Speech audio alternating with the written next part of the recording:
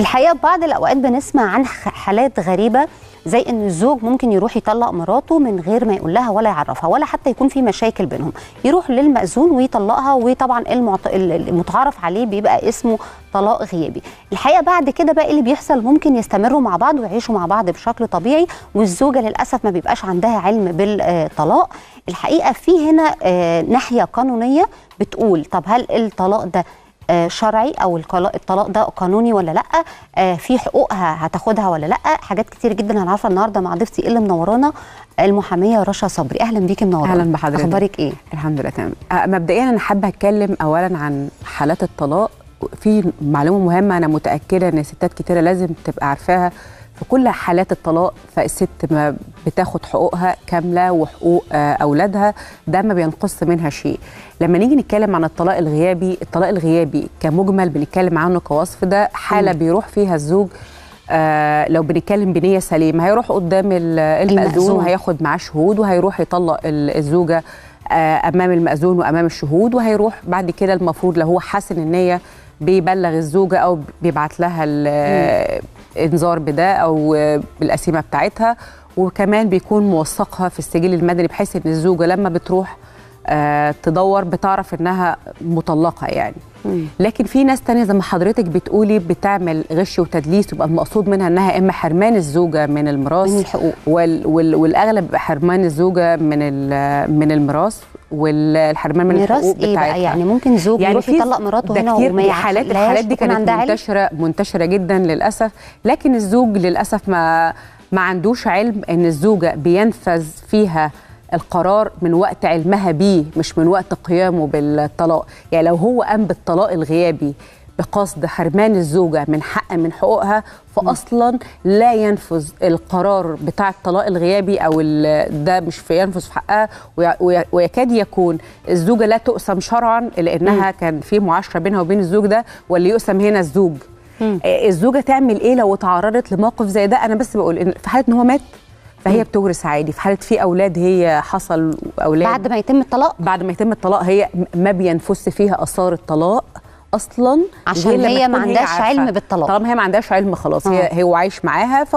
وبعدين في حاجة كمان في ساعات راجل بيطلق مراته وبيرجع وبتست... لما مثلا مبقاش واثق الطلاق وبتستمر العشرة بينهم فخلاص ال... بيبقى كأنه ردها. لأنه هو أصلا الطلاق الغ... الغيابي طلاق بس رجعي. في ورقة بتثبت إن في تم الطلاق. يعني هي سيبت من إن هو مثلا أو إحنا مش هنتناسى قصة إن هو يرجع لها البيت أو يعني ما فيش حد شافه ما هو عاش معاها بعد كده أو رجع لها البيت أو ردها. لكن الناحية القانونية في ورقة بتثبت إن الطلاق تم في في حالة حصلت إن راجل كان عمل كده في مراته شايل ورقة في خزنة وشهادة الطلاق ده يمكن طلقها من بعد الجواز وفضل يعاشرها معاشره الأزواج آه. ولما مات لقوا الورقة دي الست دي خدت ميراثها كامل على فكرة يعني الست دي حصلت على ميراثها بالشه- بشهادة الشهود الناس اللي حواليها آه يعني الراجل هي آه ده كان عايش شهادة الشهود أو. مثلا استجواب طبعاً. شهادة الشهود إن هو كان أنا- عايش أنا معاها عايزه أقول لحضرتك في بيت الزوجية عادي جدا وأقول لكل الزوجات إن كل حالة بتعامل معاملة خاصة لا يمكن هتكون صاحبة حق ومش تاخديه.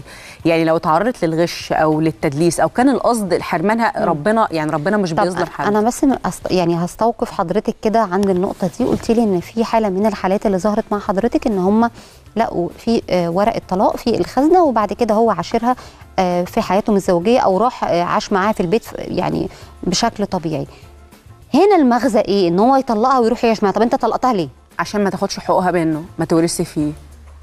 يعني عشان ما تورثي فيه عشان ما تاخدش حقوقها عشان ما تاخدش الشقة عشان عشان حاجات كتيرة جدا. يعني يكون مقصود بيها حاجات كتيرة جدا حاجات مادية أسباب مادية بالمناسبة. لأنه بما إنه كان عايش معاها وبيعاشرها وعي... يبقى هو ما كانش قصده حاجة تانية غير إنها حاجة مادية. آه، في الحالات اللي زي دي اللي زي دي الزوجة بتكون متمسكة بحقها الأصيل إنها هي تعتبر زوجة يعني أنت طالما تبقى صدمة يعني ال- المفاجأة بقى إنها تبقى حاجة صدمة كبيرة على أو يعني قوي على الزوجة لما هي تكتشف بعد كده لا قدر الله لو توفى أو أي حاجة إن هي مثلا تشوف ورق اللي هو كان مطلقها دي حاجة صعبة جدا أنا هقول لحضرتك ومش حاجة إحنا إنسانية إنها القانون يعني مش بيعلم. القانون مش بيعلم الناس الأخلاق طبعا يعني لو أنا شخص داخل الجواز ونيتي غدر أو في نيتي إن أنا أكون إنسان. سيء العشرة يعني أصلا ده ما يتزعلش عليه. يعني أنا شايف شايفة إن أنا صح. بس بس المهم إن إحنا بنتكلم على الحقوق. إحنا بنبعد يعني عن أنت شايفة. النهارده آه رسالة لكل الستات طبعا. بتسعى إنها تاخد حقوقها. طبعا. في ناس في يعني أنا كنت لسه بتناقش إن في ناس وصلت لل بس أنا حسيته تطرف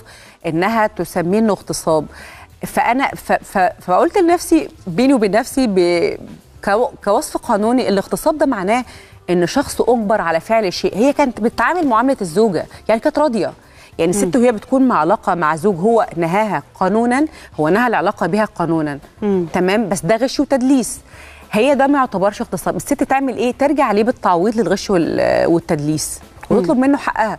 لسه كان في قضية قريب زوج عمل ده مع مع الست بتاعته. الست أثبتت ده.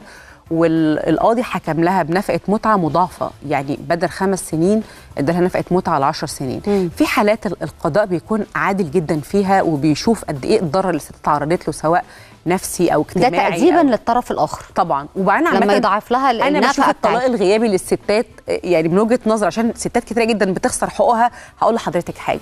تعرفي إن في ستات كتيرة جدا بتجبر على الخلع؟ أنا متأكدة إن لو كل راجل قعد مع الست لما قالت له أنا مش طبعاً. عايزة أكمل معاك وادالها حقوقها مش هتلاقي قضية خلع واحدة في قضية المحاكم. خلع. ليه في قضية خلع في المحاكم؟ لأن الراجل بيكون عايز هو ينفصل. وهو م- هو مش عايز يكمل معاها ولا حاجة. بس هو بيزهقها تجيب الآخر عشان, عشان تتنازل عن تعمل ده. حقوقها. إنما في الطلاق الغيابي بقى إيه الميزة في الموضوع؟ هو عمل ده أنت بتاخدي حقوقك كاملة.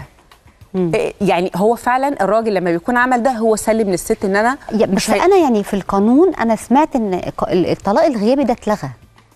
ولا هو موجود؟ طبعا الطلاق الغيابي طبعا ما اتلغاش ومش ممكن يتلغى يعني. في آه. في طبعا مشروع قانون إن الموضوع يكون بعلم الزوجة والزوجة تكون حاضرة.